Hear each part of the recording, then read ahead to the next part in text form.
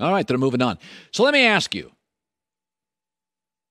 Do you think last year was a success for Aaron Rodgers? I don't. Couldn't win a home playoff game. One and done. Embarrassing. Yet he was MVP. That goes to me, that goes to my argument. The last part of the movie makes the movie. You can never have a great movie with a bad ending. There's never been ever a great movie with a lousy last 15 minutes. Doesn't doesn't doesn't happen. There's not one. Aaron Rodgers won the MVP last year is not a success. Couldn't win a playoff game? Couldn't score a touchdown? Let's go to Jimmy Garoppolo because I think a lot of you think replacing Jimmy Garoppolo is not that hard. From week 10 on last year, second in the NFL in completion percentage, 71%, second in yards per attempt, fourth in passer rating. That's the Jimmy Garoppolo he's replacing. Nobody cares about week four. That's why the Niner coaches are nervous. Jimmy's a gamer and an alpha, and he's confident. That's who you're replacing. Nobody gives a rip about the injuries, and nobody cares about Aaron Rodgers' October. Aaron Rodgers' season was embarrassing at the end. Again. Trey Lance is not there yet. And, and Jimmy Garoppolo, by the way, may never, ever be close to this good again without Kyle Shanahan. You're probably right. Doesn't matter. The last 15 minutes of the movie, if it's great, you walk out of that theater and your memory of it is that is a good movie. And there has never, ever been a great movie ever made with a lousy last 15 minutes. Jimmy Garoppolo's last three years, two NFC championship games, blew out Aaron Rodgers in one, and led Matt Stafford in another in the fourth quarter. The team that has beaten him the last two years that he has gotten to at least the NFC championship was the Super Bowl champion. That's who knocked him out. It was the Rams this year, and it was the Chiefs that year, and he led both in the fourth quarter. And this roster is full of guys who played in those games and loved Jimmy Garoppolo. So this idea it's just going to be easy. Trey Lance could be bigger, stronger, more athletic. I don't doubt any of it. But how it ends is how it is. Okay? And if you look at the Niners schedule, when Trey Lance is on the field, on the other side of the field in the first 10 games, he's going to be facing Russell Wilson, Matt Stafford, Patrick Mahomes, Matt Stafford, Justin Herbert, and Kyler Murray. And that's what you're going to compare him to. And that's what his teammates are going to compare him to. So, you know, this idea that, oh, Niner fans are like, it's great. All I hear is shade for Jimmy Garoppolo. Last 10 games, and that's when legends are made. That's why Rodgers will never be Brady. He doesn't end his seasons well. Ooh, he's great in September. That was Brady's worst month. Nobody cares. Nobody cares. Tom's worst month in New England, September. Tom was great in January. Can't be a great movie with a lousy ending. Jimmy, week 10 on, was really good and won big games. And Trey Lance has his work cut out for him. I think he'll be good. I think he'll be talented. But this idea, this is just Kyle's great. Jimmy G, get him out of here.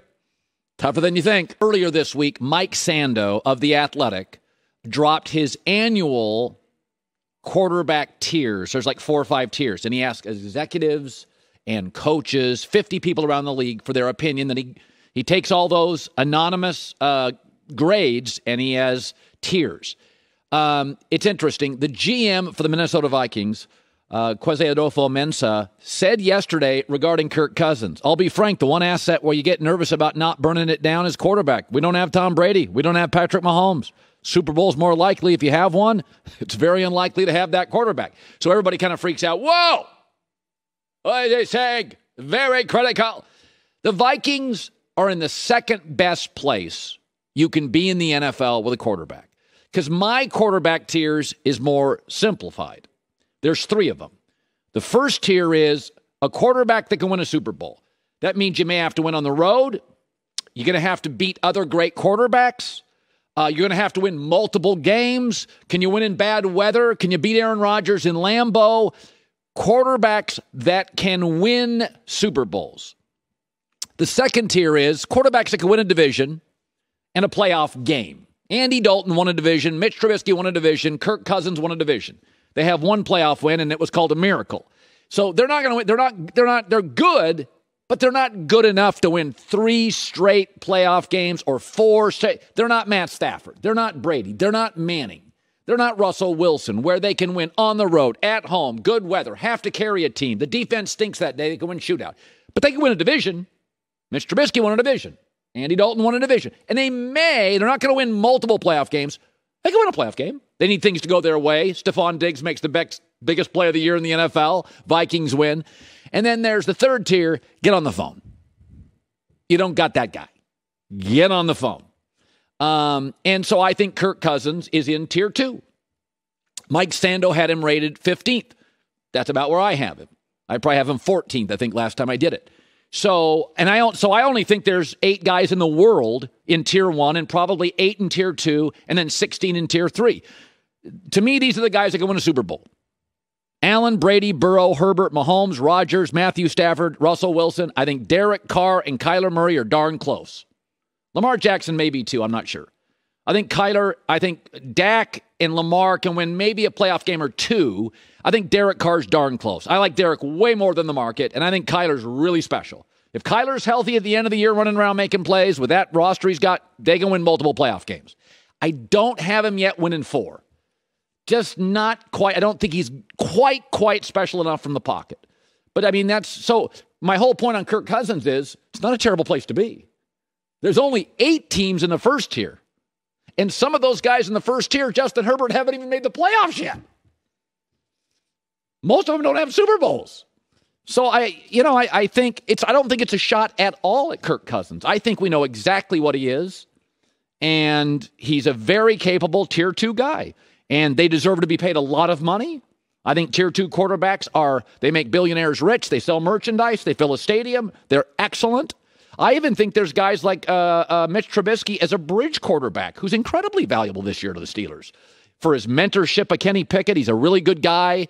Uh, that defense is good enough. That division, you could win some games in that division. I think you could. I think, I honestly, I don't think they will. But I, you know, are we all going to be shocked if Tomlin, that defense, those receivers and playmakers won that division? I wouldn't be shocked by it. I don't think they're going to go on the road and beat Mahomes. They're not going to beat Josh Allen. They probably wouldn't beat Lamar. They may not even beat Tannehill. Hi, everybody. Thanks for watching. Subscribe here to get the latest from the show. Also, be sure to check out more of the best clips from The Herd or go watch a few segments from other shows on FS1.